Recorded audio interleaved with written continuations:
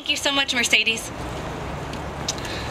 Our next speaker, Mary Lupien, is a community activist and city school teacher who lives in the Beechwood neighborhood. She recently ran for Rochester City Council at large seat.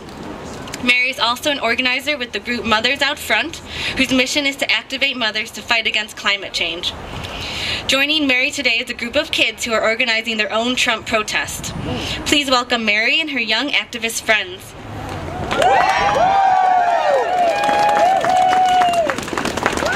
Actually, the kiddos are to come up after I talk. But hi, everybody. Um, so we are at a breaking point. And we did not get to this breaking point because of Trump. We have been on this path for a long time. The sentiments that got Trump, to, Trump elected, the fear, the racism, the sexism, the homophobia, the xenophobia, have existed since our country's founding and long before that. These divisions that have been sown among us are meant to keep us divided and distracted, to keep us from realizing that the real oppressor is and always has been those at the top who control the money, the power, and even who control us because of the marketing campaigns and keeping us always feeling like we are not enough, that we do not have enough. But we are the change that we seek. All of this division and distraction is to hide the truth. And the truth is is that we are the ones who have the power. We just don't realize it. We have given our power away to politicians and leaders who do not represent our values, who do not represent us. Capitalism and our democracy work for those 1% who use the rest of us as worker bees in their system. But when we realize that we have the power, we can break that system because those systems cannot exist without us. But it requires a sacrifice on our part. And my question to you all is what are we willing to give up? Are we willing to sacrifice our time, our money, our comfort? Are we willing to risk criticism by speaking out? Are we willing to open our eyes and to see the truth about our lifestyle and how it might be harming the earth, low wage worker who create the products that we buy in this country and around the world? And sometimes that is the hardest thing to do. I first got involved in activism when I opened my eyes, well, they were open for me, to how our systems and our lifestyle in this country are contributing to poverty and destruction. And once I learned, I couldn't unlearn it. I felt I had to do something. I'm going to use a biblical quote, not that I'm Christian, but I think it's, it's powerful and meaningful. The Bible says 103 times, do not be afraid. In my own life, I have come to understand that when I act from fear and hate, things get unclear and difficult. But when I act from love and trust in God or the universe or whatever you call it, miracles happen. Connections are made, and the path before me is made clear. So I tell you today do not be afraid to take the risks and make the, the sacrifices for our common cause. Because we are at a crossroads in history where the urgency of every cause, from Black Lives Matter to queer and trans rights to women's rights to climate, demand us to take action. And what we are doing today is important. There's something magical that happens when people gather together for a common cause.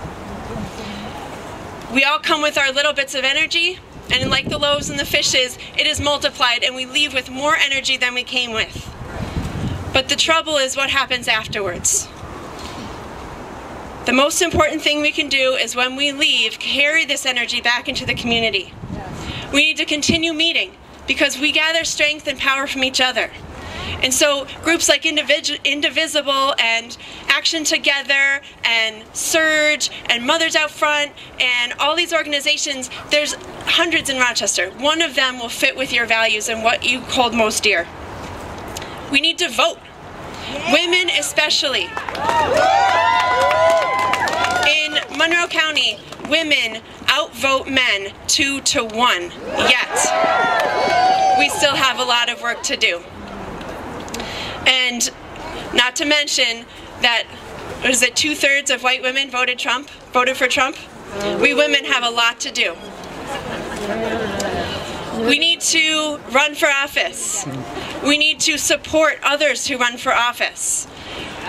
It's a risky thing to do. And I'm I'm an introvert. I'm shy. I'm nervous to be up here. But when the urgency demands it, I can overcome that fear. And some of you Some of you may think, run for office? Not me. And women, there's been studies that study this. Women have to be suggested that they run for office eight times before they start to think about it. And for me, unlucky, it was only four times before someone said I should run before I thought about it. And I had the benefit of going through training programs through Working Families Party and Women Elect, and now uh, uh, oh shoot, CWA. Uh, CWA has their own program, and it's important that we train women to run for office, and we uh, we we acknowledge that it's not just them; they can't do it by themselves. We have to support them. And I'm a mother of young kids, and I couldn't do it on my own. It was a supportive community that came behind me and helped me to do it. And we are that supportive community. So I had people that were helping cook me food so that my family could eat. I had people that were helping watch my children. And those are important things for us to do as a community to support women who are usually the heads of their households to run for office. Women are powerful, and when we stand up, we make change happen. But we are not alone in our fight as women. My favorite quote is from Frederick Douglass We are one, our cause is one, and when we work together, we win. Um, and, and we as white people, those of us who are white, we have trouble sometimes working together to really understand what it means to work in partnership with people from other experiences. And there are groups like SURJ that can help us do that. And SURJ is showing up for racial justice to understand how to be true partners in this fight. So thank you all for coming, and uh, let's go. thank you. Um, so I want to introduce some young folks who uh, started to come together because of a little girl named Zaya Soul Fox, daughter of activist Carly Fox. Um, so if the little the little ones want to come up, and any other children who want to come up here and have their voice heard, because their voice is the voice of the future. But Zaya got very upset about what was happening with Trump and especially what he said about other countries uh, who where, where people of color come from. And she called all of her mom's friends and invited them to bring their children for a kids only meeting. And so they've been they, they met once and they're going to continue to meet monthly to to talk about how this is affecting them and what they can do about it. And uh, my daughter Maya Lupien has written a speech that she'll read, supported by the people around her. So, Maya, there, there, come on.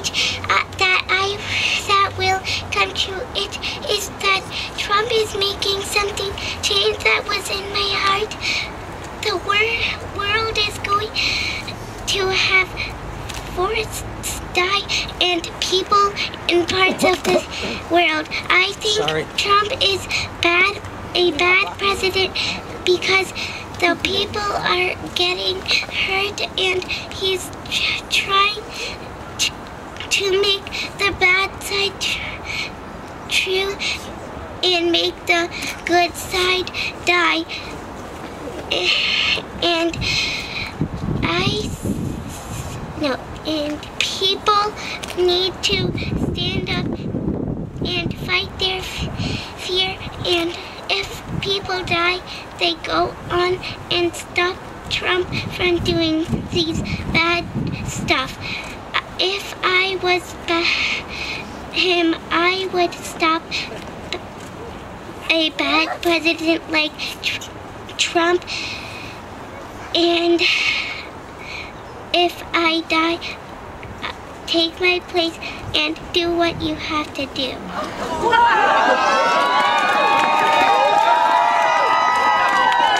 Thank you.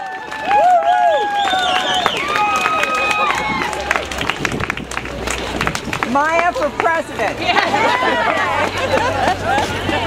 Thank you so much, Mary and Maya and all the other little activists.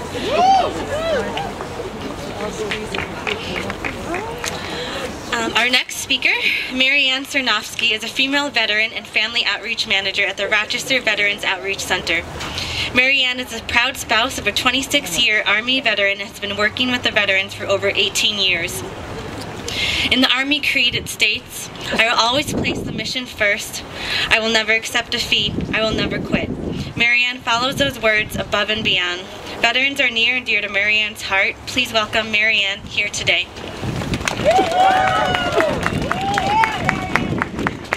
Thank you so much for letting me be here today. Thank you for everyone that's here and all these wonderful organizations. Way to go with the females. That's what I'm doing now. My new initiative is taking care of our female veterans. We've opened a Priscilla's house for our homeless female veterans and their children. My background is working with, obviously you heard the veterans, but also working, I was a school teacher for 23 years, and also working with families of the military. It was a tough, tough role to start. But you know what? It has been dear and a passion to my heart. And people forget that families serve. And you know who takes care of the families and who takes care of our, when our service members are overseas? Our spouses and our children. Our children have to learn a hard life that they don't automatically get into.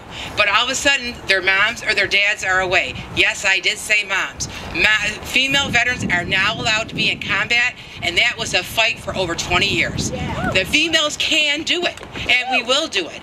And, and with that being said, the Veterans Outreach Center is a program that takes care of all of our veterans. And I, like I said, I take the the small part of the female veteran program. There's over 20% of females that are in the service now. And over that, you're talking over 11 to 12%, and probably even higher now, that are homeless.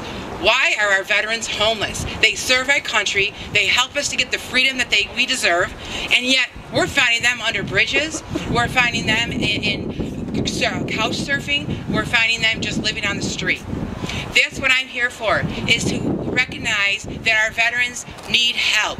And it's not all veterans that come back from combat that come and have a lot of issues. But for the ones that do have issues, why is our community is phenomenal community, but why as a country are we not taking care of the situation? That should be number one. We're getting the freedom because of them. And that's why we are ta doing that or taking care of it. And that is what the big fight is. And we are working all around the country and in Washington, big time, with taking care of our veterans and our families. I've also had an experience of working with our Gold Star families. For those that don't know, they're the fa- family members that have lost a son, daughter, spouse, whomever. They paid the ultimate sacrifice. And you know those families are, once again, some of them are homeless. There's children that need the assistance, because I am big on families, as you see. And they need the assistance that they're supposed to be getting, but yet they're not. So that's what I'm here for is to get the word out. Spread the word. Help us. Help our female veterans and come see the Veterans Outreach Center to see what we actually do with our veterans and all of the supportive services that are given to them free of charge. Everything is free for our veterans to, to be taken care of. But the big point is please help us with if you see a veteran on the street, you see the veterans under a bridge, come guide them tell them to come to veterans outreach center. That is our big role. We take care of the homeless veterans whether female or male. But like i said we then we also have our transitional housing which is also right now we have 33 veterans living there because they're homeless. But they're taken care of and we're taking care of them to make sure that they can move forward. The, I, the role is for us is to give them these supportive services so they can go back in and, and live on their own live in a civilian life they've been in the service for so long overseas for so long that they come back not knowing what to do. I'll give you a very sad story of one of our, our veterans that I've worked with very, very closely. She came back from service. Uh, it was overseas. She did four tours. Her fourth tour, it just wasn't so great coming back. She came into the Veterans Outreach Center. I worked with her for many months. And with that being said, she went into a new apartment. And I know you'll all find this to be very difficult. She went into a new apartment because she's always had a gun on her side, overseas, living outdoors. When she went into her new apartment, we got her settled. One thing we didn't think of was to put a shower curtain on the shower. Do you know she just went in the shower and took a shower and the water went everywhere? For us, normal is why didn't you have a shower curtain put up? You know what? You don't think of things. You just go and you do whatever you have to do to survive. And that's why we I need you to please pray for our, our service members, pray for our veterans, take care of them, and take care of our country. We need to help the help, and all the help we can do, we have to do it together. Not one organization, not one person, not one group can do this alone. We've got to do it together and come together and unite. And my last words are is God bless all of you, especially God bless America.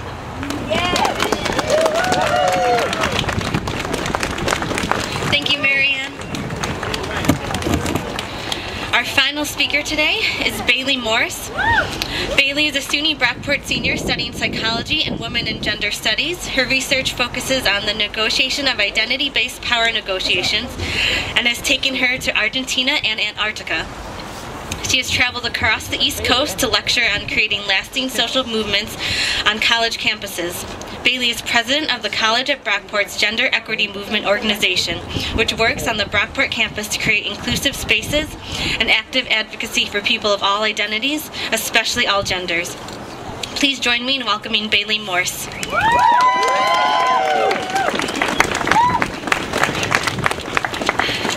Hi, everyone. Wow. It's cold. it's really cold. Okay. 364 days ago, I boarded an overnight bus to the District of Columbia to protest the inauguration of the 45th President of the United States. More than anything else, the clusters of traffic on the highway felt like a funeral procession for the country I thought I knew and had spent the last 19 years of my life loving. This year, a year later, we have again gathered to protest the injustices that have been perpetuated by the new administration. Rochester, New York gives us a few extra reasons to hold our hope. Since the 1800s, the Rochester area has been an epicenter for women's empowerment and activism for people of all identities. Just a few years ago, we had five female college presidents in the greater Rochester area, and for anyone who doesn't realize the gravity of that, that's not common. That's really kind of unheard of.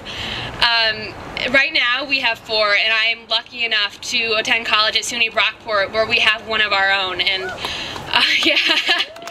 um, and recently, for the first time in the college's history, we had women in both the student government president and vice president seats. Uh, given that information, it probably doesn't come as a surprise to anyone that we have a relatively socially active student body.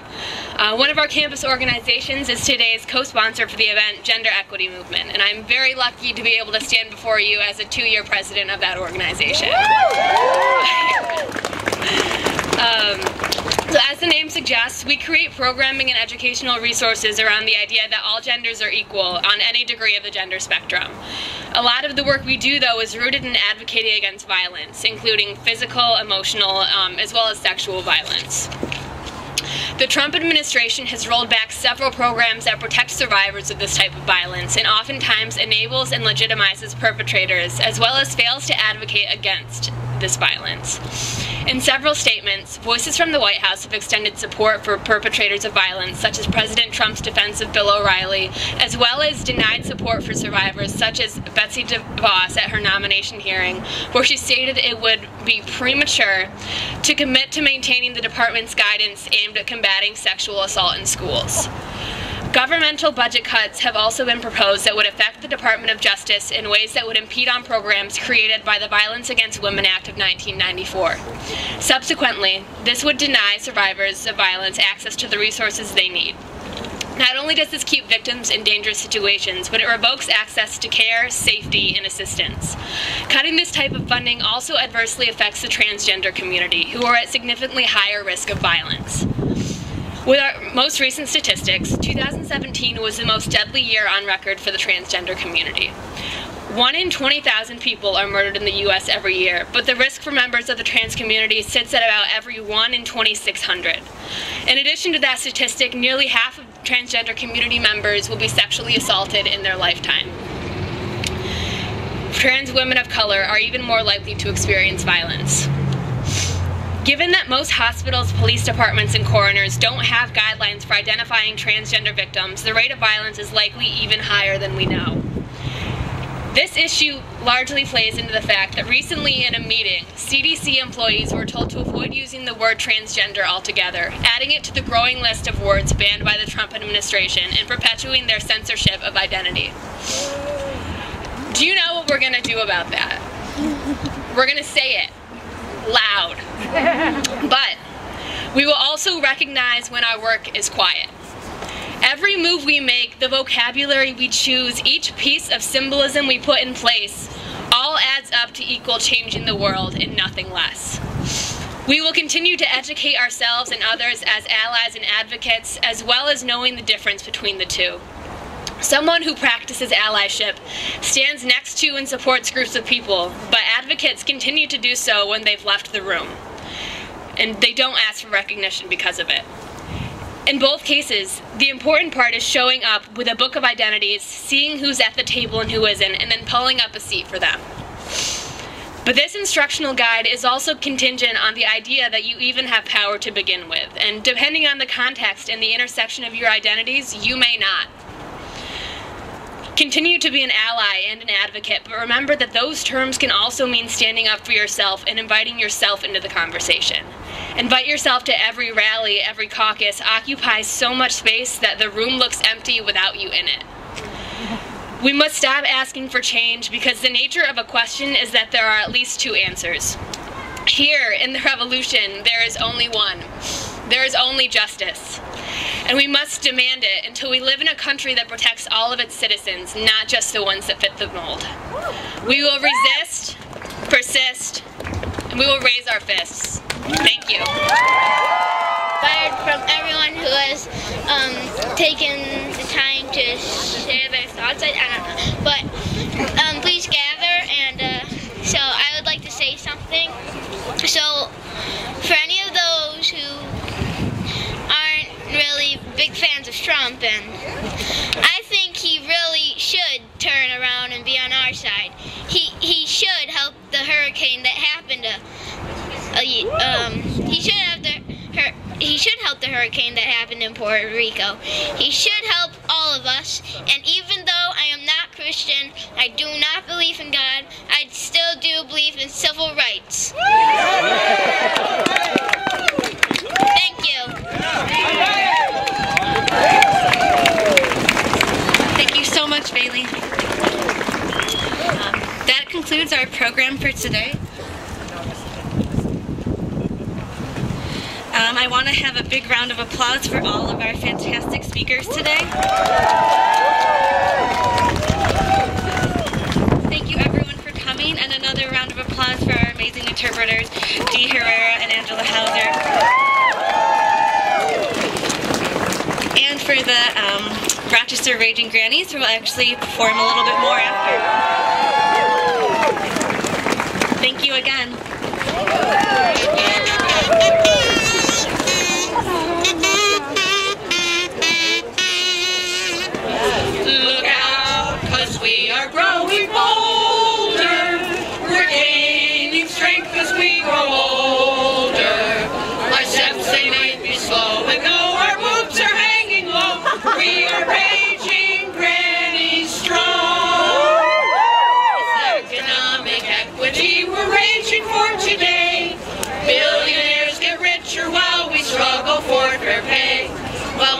People sleep on sidewalks, Granny seek another way. We are raging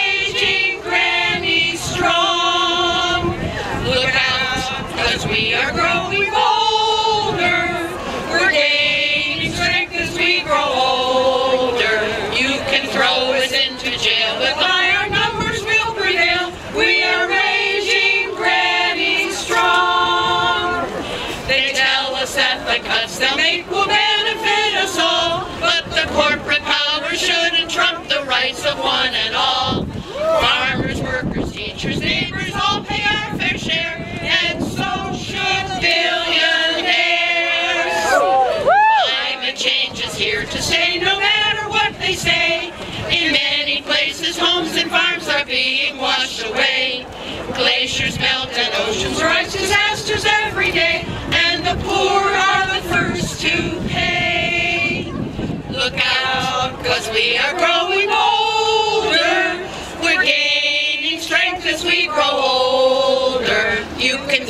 us into jail, but by our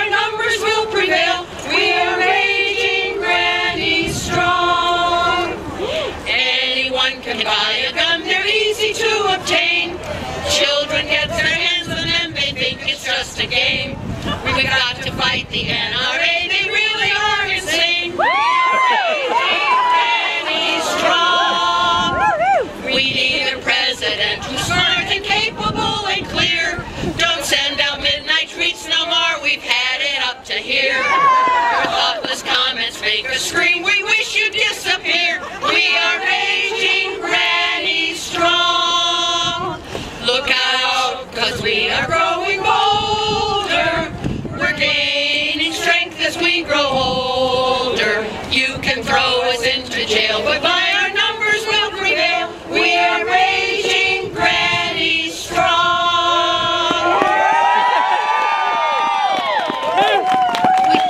just like to close with a song sing at the end of our monthly meetings.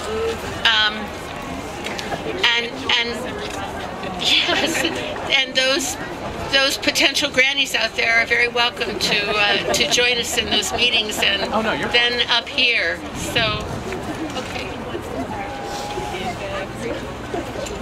If every woman in the world had her mind set